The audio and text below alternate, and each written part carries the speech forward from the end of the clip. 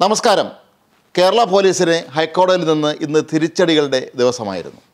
ഷാജൻ സ്കറിയുടെ അന്വേഷണവുമായി ബന്ധപ്പെട്ട് മംഗളം റിപ്പോർട്ടറുടെ ഫോൺ കൊണ്ടുപോയ കേസിൽ അതിരൂക്ഷമായ വിമർശനമാണ് ഹൈക്കോടതിയിൽ നിന്ന് കേരള പോലീസിന് നേടേണ്ടി വന്നത്. അതുകൂടാതെ ഇന്ന് മറ്റൊരു പ്രധാന സംഭവം ഉണ്ടായത് കോട്ടയത്തെ തിരുവാർപ്പിലെ അവിടുത്തെ ഒരു ബസ് ഉടമയെ സി എ ടു പ്രവർത്തകർ മർദ്ദിച്ചതുമായി ബന്ധപ്പെട്ടാണ്. ഹൈക്കോടതി അദ്ദേഹത്തിന് സംരക്ഷണം നൽകണമെന്ന് നിർദ്ദേശം നൽകിയിരുന്നിട്ടും പോലീസ് സാന്നിധ്യത്തിലാണ് ബസ്സുടമയ രാജ്മോഹന് നേരെ സി എ ടു പ്രവർത്തകർ മർദ്ദനം നടത്തിയത്. ഈ അടി ഹൈക്കോടതിയുടെ മുഖത്തേറ്റ അടിയാണ് എന്നാണ് ജസ്റ്റിസ് എൻ നഗരേഷ് വിലയിരുത്തി അത് വളരെ സത്യവുമാണ്. മാത്രമല്ല പോലീസിന്റെ ഒരു നിലപാട് നിങ്ങളൊന്ന് തല്ലിക്കോ ഞങ്ങൾ ബാക്കി നോക്കിക്കോളാം എന്ന രീതിയിലായിരുന്നു എന്ന് കോടതി നിരീക്ഷിച്ചത് വളരെ പ്രധാനപ്പെട്ട ഒരു സംഭവമാണ്.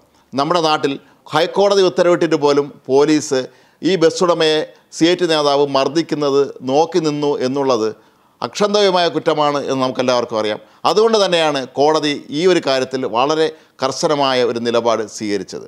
എപ്പോഴും പോലീസ് കേരള പോലീസ് കേരളത്തിലെ ഭരണകക്ഷിയുടെ ഒരു ആയുധമായി അവർക്ക് തങ്ങളുടെ ഇഷ്ടമില്ലാത്തവരെ നേരിടാനുള്ള ഒരു ആയുധമായി ഉപയോഗിക്കുന്നു എന്നുള്ള വ്യാപകമായി ഉയരുന്ന ആരോപണങ്ങളുടെ പശ്ചാത്തലത്തിലാണ് കോടതിയുടെ ഈ ഒരു നിരീക്ഷണം വളരെ പ്രധാനപ്പെട്ടത് തന്നെയാണ്.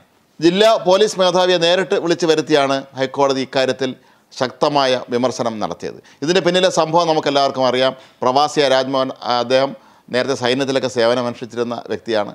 അദ്ദേഹം വാങ്ങി സർവീസ് നടത്താൻ ബസ്സിലെ ശമ്പളവുമായി ബന്ധപ്പെട്ട ചില വിഷയങ്ങളിലേക്കാണ് സി ടുക്കാർ അദ്ദേഹത്തിന്റെ ബസ്സുകൾ ഓടിക്കാൻ അനുവദിക്കാത്ത നിലപാടിലേക്ക് പോയത്. ഇതിന്റെ ബസ്സുകൾക്ക് മുന്നിൽ കൊടികുത്തി ആ ബസ് ഓടിക്കാൻ അനുവദിക്കാത്തൊരവസ്ഥ ഉണ്ടാക്കിയിരുന്നു. ഇതേ തുടർന്ന് അദ്ദേഹം അന്ന് വളരെ പ്രതീകാത്മകമായി അവിടെ കുത്തിയിരുന്ന് ലോട്ടറി കച്ചവടം നടത്തിയതൊക്കെ നമ്മൾ കണ്ടിരുന്നു. അന്ന് വലിയൊരു വാർത്തയായിരുന്നു. മാധ്യമങ്ങളെല്ലാം തന്നെ വലിയ തോതിൽ ഈ വാർത്തയൊക്കെ അന്ന് നൽകിയിരുന്നു. ഒരുപക്ഷെ ഇതൊക്കെ തന്നെ സി ടി പക്ഷത്തെ അതല്ലെങ്കിൽ സി പി എം നേതാക്കളെ ഒരുപക്ഷെ പ്രകോപിപ്പിച്ചിരിക്കാം. അതിന്റെയൊക്കെ കൂടി പ്രതികാര നടപടി എന്ന വണ്ണം തന്നെയാണ് അദ്ദേഹത്തിന് ക്രൂരമായ മർദ്ദനമേറ്റത്. പോലീസ് സംരക്ഷണം ആവശ്യപ്പെട്ട് ഹൈക്കോടതിയിൽ നിന്ന് പോലീസ് സംരക്ഷണം നേടിയ ബസ് ഉടമ പോലീസുകാർ നോക്കി നിൽക്കുമ്പോഴാണ് ബസ് എടുക്കാൻ വന്നത്. ആ നേരത്തായിരുന്നു അദ്ദേഹത്തെ മർദ്ദിച്ചത്.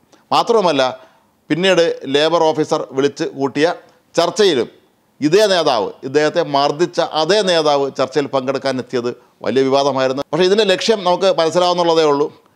നേരത്തെ രാവിലെ ഞാൻ മർദ്ദിച്ചിരുന്നു. ഇനി ചർച്ചയിൽ ആ മർദ്ദിച്ച ആൾ തന്നെ അവിടെ ഇരിക്കുമ്പോൾ സൂക്ഷിച്ചിരുന്നു. അതല്ലെങ്കിൽ ഇനിയും മർദ്ദനമേക്കും എന്നതിന്റെ ഒരു സൂചന ആയി നമുക്ക് തുടങ്ങി കണക്കാക്കാം. ഏതായാലും അദ്ദേഹം അതേക്കാലത്ത് ശക്തമായ പ്രതിഷേധം ഉന്നയിച്ചിരുന്നു. അങ്ങനെ നമ്മുടെ നാട്ടിൽ കോടതി നിർദ്ദേശിച്ചാൽ പോലും പോലീസ് അനുസരിക്കുന്നില്ല എന്ന് മാത്രമല്ല ഭരണകക്ഷിക്കാർ പറയുന്നത് മാത്രം അനുസരിച്ച് അവർക്ക് ആരുടെയും നേരെ കൈനീട്ടാനുള്ള ഒരു അവസരം കൂടി ഈ പോലീസ് നൽകി എന്നുള്ളത് കേരളത്തെ സംബന്ധിച്ച് അങ്ങേറ്റം ഞെട്ടിപ്പിക്കുന്ന കാര്യമാണ്. ആ ഒരു വിഷയത്തിലാണ് കേരള ഹൈക്കോടതി ഇപ്പോൾ വളരെ ശക്തമായൊരു നിലപാട് തന്നെ സ്വീകരിച്ചിരിക്കുന്നത്. പോലീസ് ഉദ്യോഗസ്ഥന്മാർ ഉയർന്ന പോലീസ് ഉദ്യോ- ഉദ്യോഗസ്ഥന്മാർ കോടതിയിൽ ഹാജരാകേണ്ടതുണ്ട് എന്ന് കോടതി ശക്തമായി ആവശ്യപ്പെട്ടിട്ടുണ്ട്.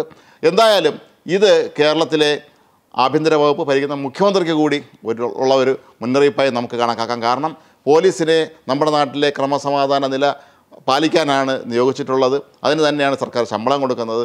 അതല്ലാതെ ഒരു പൗരന് അയാൾക്ക് സംരക്ഷണം നൽകണമെന്ന് കോടതി ഉത്തരവിട്ടാൽ പോലും അത് അവർക്ക് അതിനുള്ള അവസരം നൽകാതെ എതിരാളികൾക്ക് അവരെ കയ്യേറ്റം ചെയ്യാൻ പോലും പോലീസ് നോക്കി നിൽക്കുന്ന ആ ഒരവസ്ഥ നേരത്തെ കോടതി പറഞ്ഞതുപോലെ നിങ്ങൾ ഒന്ന് തല്ലിക്കോ ഞങ്ങൾ നോക്കി ഞങ്ങൾ ബാക്കി ഞങ്ങൾ കണ്ടോളാം എന്ന രീതിയിൽ ആ രീതിയിൽ പെരുമാറുന്നത് ഒരിക്കലും കേരള പോലീസിന് ഇന്ത്യയിലെ ഒരുപക്ഷെ ഏറ്റവും മികച്ച പോലീസ് സേനകളിൽ ഒന്നായിരുന്ന കേരള പോലീസിന് എന്തുകൊണ്ട് ഈ ഒരു അവസ്ഥ വന്നു എന്ന് നമ്മൾ ചിന്തിക്കുമ്പോൾ ഇതിനെ അമിതമായ രാഷ്ട്രീയവൽക്കരണം എന്ന് തന്നെ പറയേണ്ടി വരും. പോലീസിൽ പോലും രാഷ്ട്രീയവൽക്കരണം നടത്തുകയും തങ്ങളുടെ ഇഷ്ടങ്ങൾക്കനുസരിച്ചോ അനിഷ്ടങ്ങൾക്കനുസരിച്ചോ ഒക്കെ തന്നെ പ്രവർത്തിക്കേണ്ട ഒരു ആയുധമായി പോലീസിനെ മാറ്റുകയും ചെയ്യുന്നതിന്റെ ഏറ്റവും മോശമായ ഒരു ഉദാഹരണമാണ് കോട്ടയത്ത് നടന്നത്. അതിന് തന്നെയാണ് കേരള ഹൈക്കോടതി ഇത്തരത്തിലുള്ള വളരെ കർശനമായ നിർദ്ദേശം നൽകിയത്.